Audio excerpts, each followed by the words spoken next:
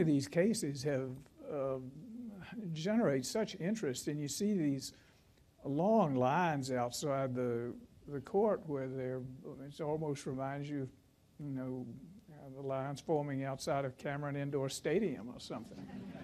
and um, uh, and uh, as I understand it, people uh, subsidize placeholders to uh, to sleep overnight. So that they can see the oral argument the next day. Um, and so if people, you know, go to these links just to watch their government in action for a, a short period of, of time, um, is it really, is, has the time now come to, to televise the argument before the Supreme Court? The court itself could control the ground rules. Uh, no, uh, the, uh, and, you know, um, first of all, on one thing, just because I do think it's a, a, terrible thing, this idea of line sitters and paying them. We, we've advised the members of the Supreme Court bar that we think that's not an appropriate thing to do. So at least members of our bar aren't, aren't doing that.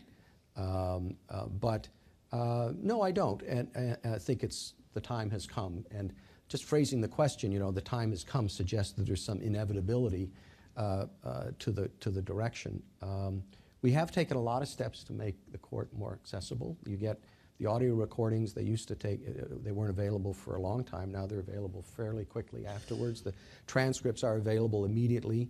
Um, uh, but, um, you know, the, the television has changes a lot. Um, and I ask people, you know, which public institution has been improved by uh, being televised?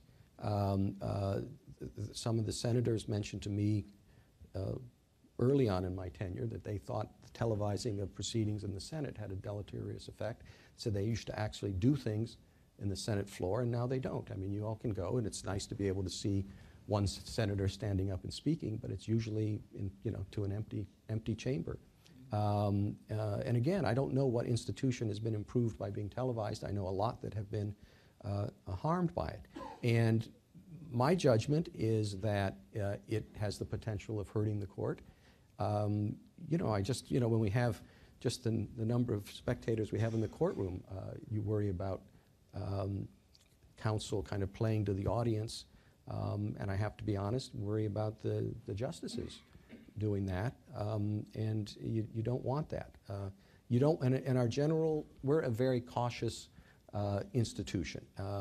I think our process for hearing and adjudicating the cases is working very well. Um, uh, and I think changing something as dramatically as televising the proceedings, um, I, I, think would be harmful. Um, and uh, I do worry. I mean, if you've been to our arguments, as I was saying, it is really a boom, boom, boom type of an affair. And I don't want to have to think, well, okay, how would that sound to the however many people watching at home, uh, is, are they going to understand the dynamic of what it's like? And um, uh, particularly if you get sound bites plucked out and you don't realize, you know, he wasn't saying this, that was a hypothetical that was posed to the lawyer, and how, you know, and I think it's, it's not so much, um, and it's, it is uh, there. I mean, it's not as if we're doing this in secret. Um, uh, and, and we're the most transparent branch in government in terms of uh, seeing us do our work and us explaining what we're doing. Um, uh, but I do think there's a potential for it to alter the argument process. I don't want to have to think about, well, what's that going to sound like? And then the question is gone and the, the, the, the, moment is lost. Um, and so I, I, think I. Would it cause the advocates to showboat? Well, no, but, and, and I, I, have said this before, and it's kind of facetious, but only kind of. Uh, you know, um, uh, you're, you're, you know, the ABC Automotive Company, and you're in a Title uh, VII suit for discrimination in, you know, employment. Um, you know, their lawyer, if it's going to be viewed by however many millions of people, is going to get up and start some speech about how the ABC company would never discriminate against anybody, and you know, blah blah blah, and and they have this great record, and meanwhile, there's this fairly technical legal issue that. Yeah, they're probably figuring, oh, the court will get it right, and I need it's more important for me to communicate in some sort of PR way.